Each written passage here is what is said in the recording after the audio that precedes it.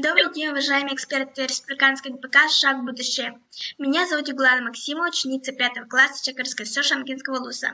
Тема изготовления эксклюзивных открыток по мотивам детских произведений Платона Свечаенкова для их популяризации среди школьников. Одна из важных проблем среди школьников – это проблема чтения. Что же можно сделать для популяризации, популяризации чтения книг? У нас давно появилась идея создать эксклюзивный открыток, ведь открытки ручной работы – это еще лучший подарок. И мы решили выбрать тематику откры... открыток по мотивам произведения Аюнского. Цель работы – популяризация произведения Аюнского среди учащихся Чакырской СОЖ путем создания эксклюзивных открыток по мотивам его произведения. Задача работы – познакомиться с жизнью и творчеством Аюнского и его произведения для детей, изучать информацию об открытках – провести внутришкольные конкурсы рисунков для отбора лучших а, работ, провести анкетирование, создать эксклюзивные открытки ручной работы. В, теоти... в теоретической части мы посвятили жизни писателю Платона Севичского, Платона Севича Аюнского, а также его произведения для детей. Мы остановили свой выбор на нескольких детских рассказах и стихотворениях из произведения Аюнского. А также мы сделали анализ литературы по истории создания открыток и их видов и провели опрос по самым популярным видам открыток.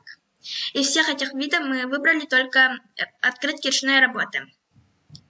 Это не просто открытки, а это будет новый жанр, обучающая открытка. В практической части мы описали создание эксклюзивных открыток. Во-первых, провели анкетирование учащихся. Результат, результаты вы видите на слайде. После опроса мы провели классные часы, в которых познакомили школьников с произведениями, которые вошли в наш проект с открытками. Ученикам было задано прочитать детские произведения Аюнского и нарисовать рисунок по мотивам произведения писателя. Мы провели внутришкольный конкурс рисунков с целью отбора лучших рисунков для изображения на открытках.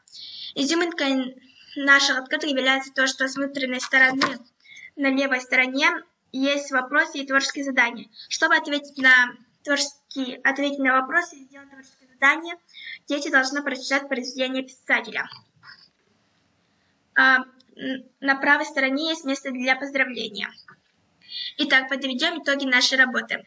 Мы познакомились с детскими произведениями Аюнского, провели конкурс рисунков по его произведениям и провели выставку рисунков. Сделали эксклюзивные открытки. Цель нашей работы достигнута. Задачи, которые мы поставили, выполнены. Нам удалось привлечь большое количество школьников, которым было интересно познакомиться с Союзским поближе, прочитать его произведения и сделать по их мотивам рисунки. Спасибо за внимание.